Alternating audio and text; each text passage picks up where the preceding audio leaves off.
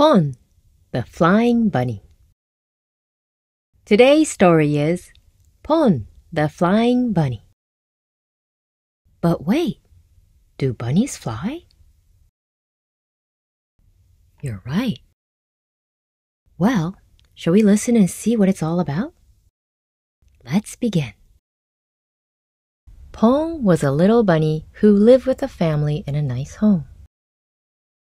One day, Pon was looking up at the sky as he munched on some food. It was a little girl who took care of Pon every day.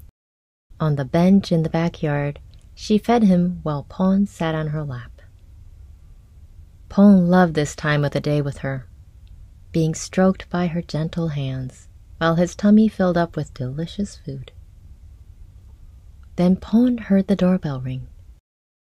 Ding dong! Someone was at the door. Then her mother called for her. The little girl held Pon in her arms and went inside the house from the back door. Pon saw that there were many girls dressed up in pretty dresses, with their arms full of things of various shapes. What could they be? Pon peeked through the girls' arms. Cakes, boxes, flowers, and. Then Pon was taken by something right in front of him.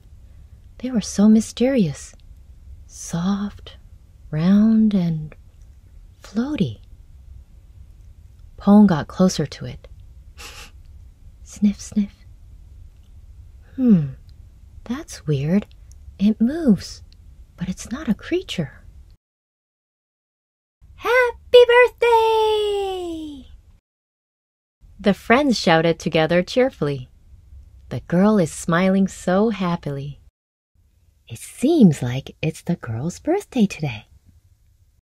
Then they all carried everything to the backyard and started to play games and exchange presents. It looked like so much fun.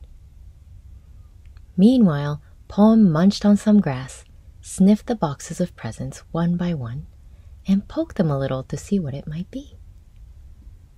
But he could not stop thinking about that mysterious round and floaty thing that got tied to the sofa. He timidly drew closer to it, inch by inch. He tugged on the string and pulled it towards him. It followed him, but if he lets go, it goes up toward the sky again. Very mysterious. Uh oh, Pon thought to himself. He was having so much fun playing around that when he pulled it, the string got cut off. He quickly bit on the string and stopped it from flying away. I have to tell the girl. Just then, a strong gust of wind blew. Whoosh! All of a sudden, Pon was up in the air. He got scared and closed his eyes, but then he felt so light. Floaty, floaty. He had never felt this sensation before. It was different from when he was being carried by the girl. Floaty, floaty. He went up and up higher into the sky. The girl's house got farther and farther away. I wonder, can I go anywhere I want? Pon tried to walk. It worked. He was moving forward. Pon's eyes sparkled in delight. Wow, I must be the first flying bunny in the whole wide world. Pon got so excited and tried walking in the air again and again. The vast scenery opened up below him. Birds, dandelion fuzz, airplanes, they all said hello to him. How wonderful it feels to fly! The sun was warm just like the girl, and the clouds were soft just like her bed. How much time has passed? The sky had turned orange. Pon thought, I should probably get home. He missed the girl. Pon was laughing and giggling so much until then that he breathed in so much fresh air. But suddenly he thought about the girl. How worried she must be. Then he felt so heavy in his heart and sighed, Ah. then slowly, slowly, he began to descend. From the top of the cloud, he could see the town, then his house below. Welcome home, Pon!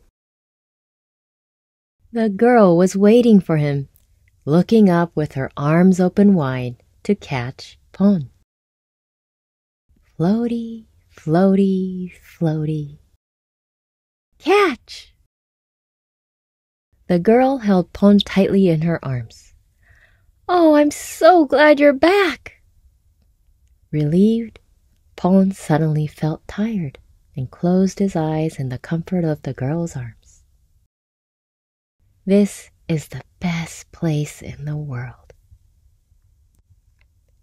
Then they walked back to her bedroom. Seems like they will both get a good night's sleep tonight. This is the end of today's story. Now, do you know what the round and floaty thing was? Good night. See you again tomorrow.